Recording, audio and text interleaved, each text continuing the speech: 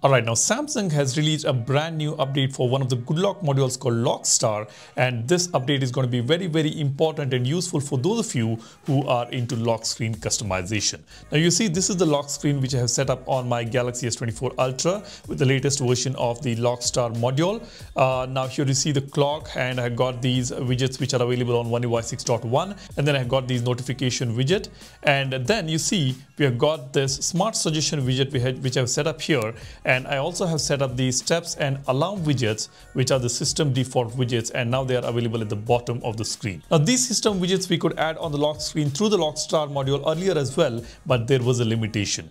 Now that limitation has been solved. Let me just open the phone and let me go to the good lock.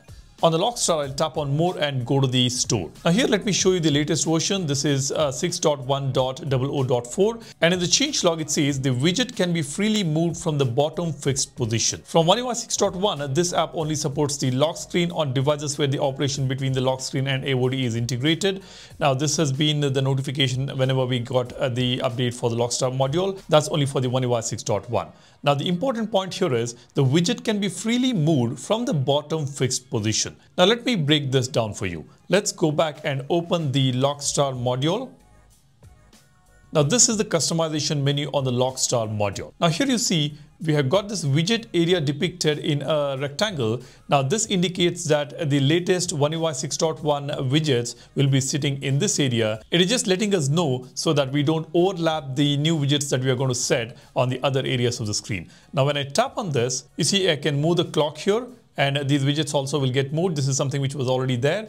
Now, when I tap on this widget, I could actually move to any area that I want. On the One UI 6.0 on this Galaxy S23 Ultra, I could only move this in this area. I could not move it to any other area. It was completely restricted. Now we can move these widgets anywhere we want. As you can see, uh, I can move all these widgets from the top uh, to the bottom. Any area I want, I can just set this up. Now, uh, to set the new widgets here, all you need to do is just tap on this empty space you see we have got add sticker option, add widget option, and we also have this uh, music widget which is available here. I'm not sure for what reason it is separately given here.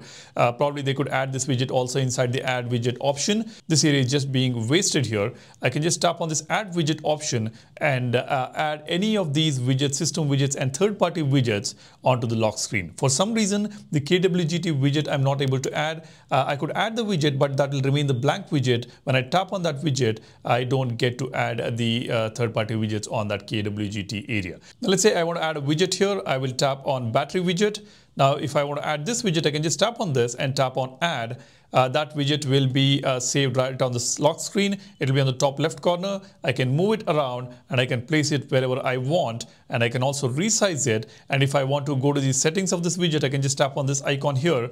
Uh, it shows me the settings option and it also shows me uh, the transparency for that particular widget. I can change the transparency. Now here there's a bug. You see when I change the transparency, uh, the background gets blurred and even the contents, uh, the uh, letters or the words here will also get blurred. That's an issue. Only the background should get blurred and we should be able to see the contents, the uh, words and letters here in the dark font. Now that is not happening here. You see, it is not even visible here as you can see. This is something which Samsung might have to fix. Let me just uh, save this and see if it works.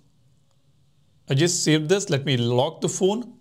Yes, this is an issue. You can see the background is blurred and even the contents, the letters and words are also blurred here. Uh, this should have been in uh, the dark font. Now let me go back. Let me just uh, open the phone and go back there on the Lockstar customization. Now I'll just remove this particular widget now let's get back to the lock screen and let's try to tap on this widget and see whether it's going to take us to the uh, associated app or not. Let me tap on steps Yes, it is going to ask me to unlock the phone and when I unlock the phone, it will directly take me to the uh, Samsung Health application. Now let me tap on alarms. You can see I can directly go to the alarms by tapping on that widget. Now let me tap on any of these applications from the Smart Suggestion widget. Let me tap on uh, the One Hand Operation Plus application and let me unlock the phone here.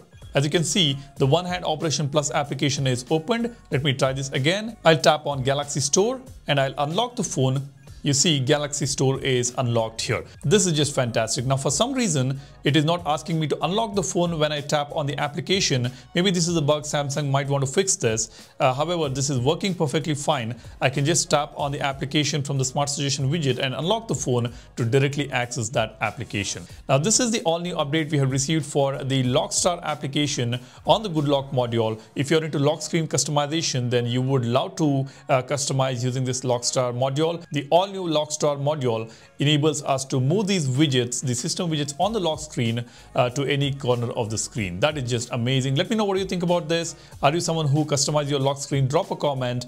And just to inform you guys, this update is currently available on the Galaxy S24 series on the latest One UI 6.1, not available for the other devices running on One UI 6.0. However, you will be getting this feature very soon. You will be able to uh, move these widgets on the lock screen to any corner that you want. Thanks for watching. If you want to know your phone better, be sure to subscribe to the channel and give this video a like if you find this informational. You guys take care and stay safe. I will see you in the next one. Cheers. Bye-bye.